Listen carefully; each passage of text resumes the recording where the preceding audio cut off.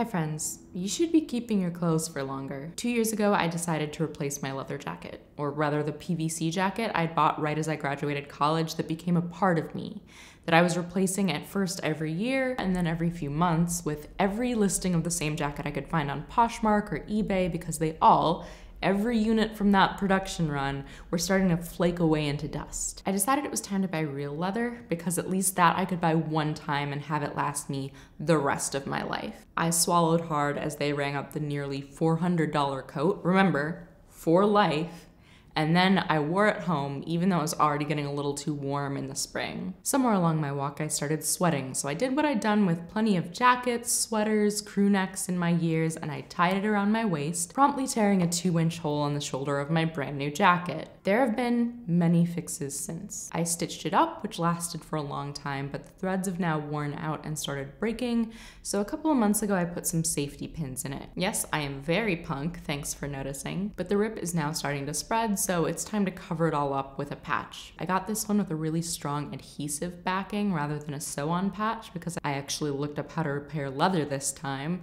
that it's really hard to sew leather at home without causing more damage, so I'm just gonna peel off the backing and stick it on. Now my jacket is repaired and it has even more character, and I can continue to wear it as promised forever. You know, I was sad to lose my original vegan slash plastic leather jacket because it felt like it was such a part of my identity. But with this jacket, in like 25 years, I'll probably have a sleeve full of cool patches with stories behind them, and no one else in the world will have anything like it. Each year, it'll just get even more a part of me. I've been trying to keep the things that I own longer and buy new things less often. Sure, it's corporations and not individuals that are producing the bulk of the waste and emissions that are causing climate change, but but as Aja Barber describes in her book Consumed about the fast fashion industry, these corporations don't exist in a vacuum. They sell things because people buy them, and then we throw them out. Americans landfill like 11 million tons of textiles per year, and that includes all of the worn out fast fashion or charity run t shirts that you dump on a Goodwill thinking someone else will want to use them. They won't. So we're allowed to withdraw our participation if for no other reason than to close the gap between our values and our actions. I want to keep my things longer and love my things more. And one of the ways that I've been doing that is by mending them. Here is a favorite sweater of mine that in the winter winter, I wear probably three days a week. Taylor starter pack is just black jeans, a black sweater, black boots, and the most beat up, crusty Audio Technica headphones you can find. These aren't totally worn out yet, but I am going to patch the elbows because they're getting a little thin, and if I do them now before there's an actual hole in them, then this iron on patch is gonna stick better. I got these patches on Etsy, and they have an iron on backing, so you just need to place them and apply heat.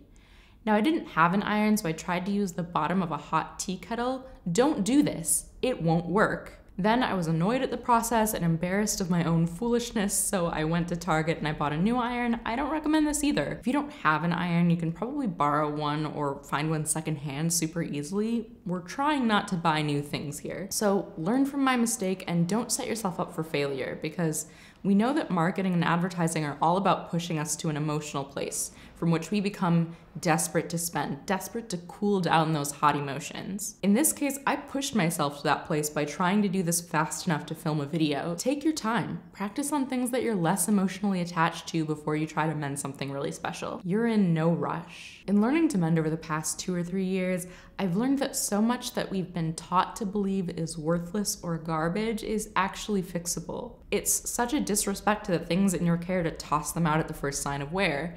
And things that belong to us are meant to be lived with and adjusted and changed as much as we do. And I'm not perfect about this. I like the thrill of new stuff just as much as the next person. But I've also started to develop a better eye for when things are weakening and wearing out. Here's a pair of jeans that's pretty new. I bought them in December when on the way to the airport, one of the two pairs of pants I was bringing on my month-long trip ripped a hole in the crotch. I didn't have time to mend them then, so I bought new ones and figured I'd mend that pair later. Because wearing out pants is one of my biggest clothing problems, like I'm a girl whose thighs rub together, and I also have to walk five miles a day to keep my brain from wilting. I wanted to see if there's anything I could do to slow down the wear and tear and make my new jeans last longer. I read on one of the mending Instagram accounts that I follow that using iron-on patches on the inside of your new pants helps reinforce the fabric so it doesn't rip as easily. So that's what I'm doing now with a proper iron this time. I don't know how much it'll extend the life of my pants, but for all of the $3 I spent on patches, I think it's worth a shot. It's so much easier to take care of things before the damage is done,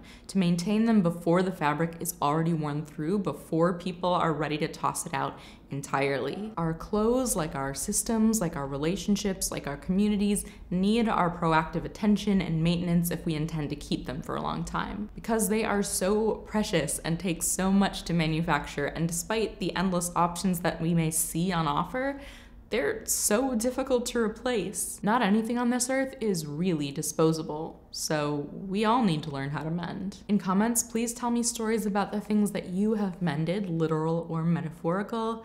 If you're looking to learn how to do literal mending, I will link some of the books and accounts and resources that I've been using to learn. And finally, this video was brought to you by the Radish Collective, my community of Patreon supporters. If you join them before the end of February, I will send you a postcard in the mail to say thanks, and you will help me make more videos just like this one. See you soon. Bye.